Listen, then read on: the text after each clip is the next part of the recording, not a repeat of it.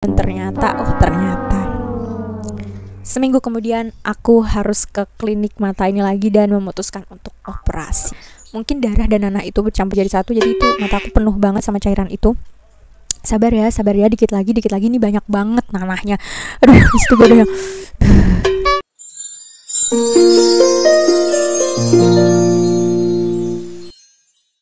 Assalamualaikum guys. Halo Selamat datang di channel Lala Latifa Oke hari ini kita masuk ke segmen Asal kita tahu.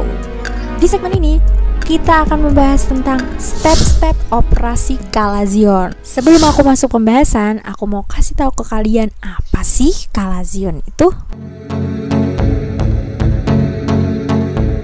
Dikutip dari halodoc.com Kalazion adalah pembengkakan atau benjolan yang sebagian besar terdapat pada kelopak mata bagian atas. Nah, itu sudah terjadi sama aku dan aku mau ceritain gimana sih step-step sampai bisa aku dioperasi ya gara-gara si kalazion ini.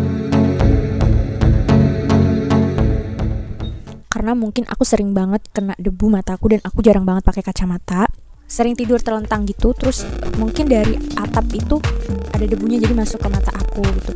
Pokoknya intinya kenapa aku bisa kena kalazion ini uh, ada kotoran yang menyumbat saluran meibomku ini. Jadinya dia terjadi pembengkakan gitu jadi nggak bisa lancar lah alirannya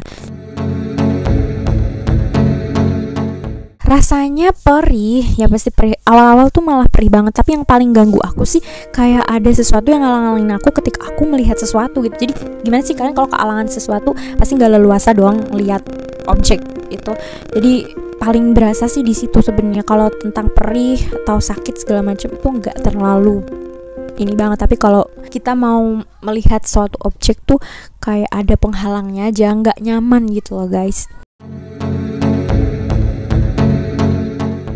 percaya nggak percaya kalazion ini tuh ada di mata aku hampir satu bulan. Wow. atau bahkan dua bulan. Pokoknya sebelum aku masuk kerja terus aku udah masuk kerja hampir sebulan itu kalazion udah ada di mata aku. Tapi sebenarnya kalazion ini tuh bisa ditanganin cepet dalam waktu kurang dua minggu aja. Jadi kalau udah dua minggu kalazion ini enggak kempes-kempes. Kalian tuh harus segera ke klinik mata. Jadi bukan puskesmas lagi tapi langsung ke klinik mata Nanti aku jelasin gimana step-step pengobatannya ya. Yang benar, pokoknya jangan sampai kayak aku. Lama banget. Sebenarnya guys, kalazion ini tuh bisa kempes sendiri tanpa diobati sekalipun. Cuma lama banget, mungkin hampir 5 bulan, 7 bulanan. Ya bayangin aja mata kamu. Benjol sampai 5 bulan sampai 7 bulanan itu lama banget. Jadi daripada dibiarin mending diobatin semua manusia di dunia ini kalau mau operasi kayaknya pasti bakal deg-degan dan itu pun terjadi sama aku karena aku juga manusia jadi deg-degan terus siap nggak siap tapi memang harus dijalani Nah, di sini aku mau ceritain runtutan dari awal kena sampai dioperasi. Dengerin baik-baik supaya hal ini tidak terjadi pada kalian. Karena aku pun juga tidak mau mengalami ini lagi. Jadi awalnya tuh aku bangun tidur. Nah bangun tidur tuh rasanya perih banget mataku kok berat banget ya. Kenapa? Di situ aku ngaca. Nah setelah aku ngaca ternyata mataku seperti ini. Aku foto. Hmm. Ini ya lumayan berat sih waktu itu dan merah banget kan. Jadi banyak banget yang nanya mata kamu kenapa, mata kamu kenapa gitu. Jadi risi aja gitu. Kayak orang nggak normal ya kan matanya bengkak merah. Sebelum aku terkena kalazion ini, aku memang sering banget timbilan guys. Jadi bisa dihitung setahun tuh hampir lima kali aku timbilan ya. Dan itu aku kompres dengan air hangat aja bisa kempes sendiri gitu dalam waktu semingguan. Nah ini aku kompres bolak-balik tuh dalam waktu seminggu gak kempes-kempes. Akhirnya aku memutuskan untuk memeriksakannya ke puskesmas. Nah di puskesmas itu aku dikasih obat sih waktu itu ada obat juga pil aku minum biar mungkin itu pereda nyerinya kali ya ada salep juga jadi aku olesin ke mata gitu. Nah udah tuh udah berlangsung selama seminggu lagi dan ternyata tidak kempes juga. Setelah dua minggu aku periksa dari puskesmas itu belum reda juga tuh. Oh, tapi waktu itu tuh memang salepnya nggak aku pakai guys. Dari aku periksa sampai pertama kali. Nah karena aku udah masuk kerja nih jadi selama sampai sebulan itu mat aku tuh masih ngejendol gitu jadi aku ngerasa nggak nyaman banget dong uh, daya pandang aku udah nggak senyaman dulu akhirnya aku memeriksakannya lagi ke puskesmas gitu. Dokternya cowok sabar ya. Aku ditanya lah udah berapa lama? Udah satu bulanan dok. Aku udah bilang gitu. Terus dokternya bilang wah lama banget dibiarinnya. Terus habis itu dokternya uh, mengasih tahu oh ini harus ke klinik mata ya. Kamu aku rujuk ke JEC Cinere deket kok ini. Aku sih iya iya aja gitu. Wah ternyata sampai ke klinik mata juga ya. Tapi aku di situ pakai BPJS guys. Jadi aku nggak bayar sepeser pun ya jadi aku pakai BPJS semua dari awal sampai akhir. Kecuali nanti bayar obatnya ya. Jadi bayar obatnya tuh nggak disponsorin sama BPJS-nya akhirnya aku beli pribadi deh. Cukup mahal juga sih. Hampir seratusan loh. Satu salep doang padahal. Makanya jangan sampai sakit mata kayak gini deh guys. Sampai di belak belak Oke, pulang dari situ aku udah ngurus semuanya surat rujukannya dari puskesmas. Akhirnya sesuai tanggal yang ditentukan di surat rujukan itu, aku datang ke klinik mata JEC Cinere. Itu udah paling deket banget sama puskesmas yang waktu aku periksa. Di situ aku juga pakai BPJS. Jadi dari awal sampai akhir tuh aku masih pakai BPJS ya, guys. Um, aku daftar dulu, dicek dulu sama dokternya. Nah, setelah dicek sama dokternya, ini masih ada kemungkinan aku bisa nggak dioperasi jadi aku dikasih salep doang. Jadi selama seminggu kalau salep ini bisa meredakan atau mengempeskan itu si kalazion jadi aku nggak perlu operasi. Lanjut ceritanya udah seminggu aku udah rutin banget ngompres mata aku pakai air anget terus aku pakai juga salep dari dokter klinik mata ini dan ternyata oh ternyata Seminggu kemudian aku harus ke klinik mata ini lagi dan memutuskan untuk operasi. Tuh guys, sebenarnya aku tuh juga nggak mau operasi, tapi mau nggak mau karena memang ya mungkin operasi ini adalah jalan ninjaku. Jadi aku memberanikan diri untuk operasi mata. Sebelum operasi mata ini berlangsung, aku dicek dulu berapa minusnya, terus pokoknya ada pengecekan dulu deh sebelum dioperasi. Setelah pengecekan itu selesai aku masuk ruang operasi. Ini udah dikser banget. Dan itu aku didampingi sama ibu aku. Terima kasih untuk uh, ibuku yang sudah mau mendampingi aku dari awal aku masuk ke klinik mata ini sampai akhir aku dioperasi. Itu sama mama. Sekarang kita masuk ke tahap mau operasi. Ini udah berbaring di ranjang pengoperasian. Aduh itu udah dikser banget. Kayak aku sempat mikir aduh nggak usah operasi kali ya ini kenapa sih jantung aku dak dikduknya makin kenceng gitu. Aku mau pulang rasa rasanya aku mau ngebatalin operasi ini tapi udah terlanjur jadi nggak bisa guys. Akhirnya susternya datang ditetesin tetes mata dan tetes mata ini berfungsi untuk bius. Jadi ini bius tetes mata. Setelah bius tetes mata ini suster itu bilang kalau udah berat bilang ya berarti itu uh, obatnya mulai bekerja. Setelah bius tetes mata ini masih ada bius lagi. Ini adalah bius suntik. Jadi mata aku tuh disuntik. Aku biasanya dua kali sih disuntiknya ya. Tahan ya, tarik nafas, disuntik blus. Tadi udah dibius sih, cuman ini masih terasa biusnya. Mungkin ini bius saraf kali ya. Tadi bius bius apa ya tadi?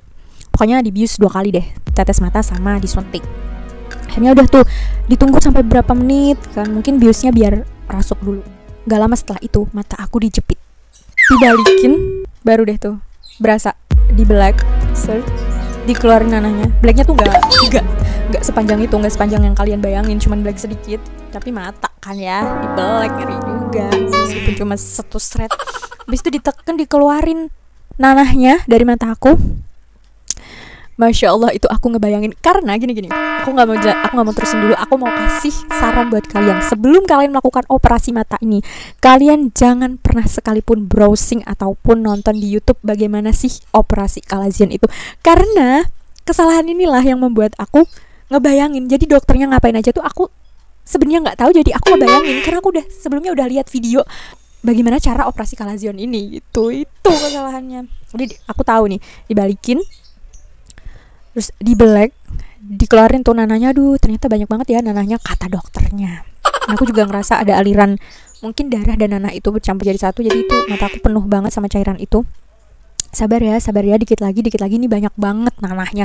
Aduh itu gue udah udah nggak ada hati Gak lama kemudian dokternya bilang alhamdulillah udah selesai. Akhirnya ditutup tuh mataku nah, nggak nunggu lama banget sih setelah ditutup itu aku langsung berdiri dan berdirinya sempoyongan dong karena memang mata aku tetap satu jadi cuma satu ini nggak biasa kan jalan. Cuma satu mata itu kayak sempoyongan dan susternya nggak nolongin. Tapi mungkin susternya lagi sibuk kali ya.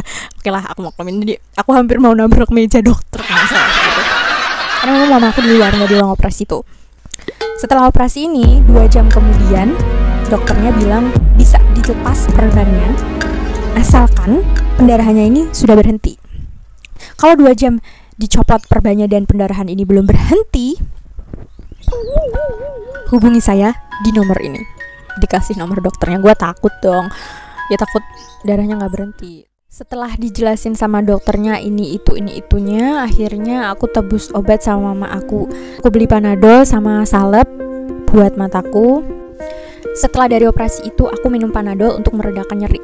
Karena jujur itu nyeri banget bekas balikannya perih aku sampai mah ini perih banget akhirnya di klinik itu juga aku minum panadol buat meredakan nyerinya. Dibuka perban aku sama mamaku pelan-pelan pelan-pelan darahnya masya Allah di kapas itu banyak banget. Kayak gini nih setelah dibuka perbanku sorenya aku udah bisa minum obat yang diberikan oleh dokter Caranya cukup mudah. Kalian sering-sering membersihkan mata kalian. Kalau berkendara, diusahakan pakai kacamata jadi debu tuh nggak masuk ke mata langsung.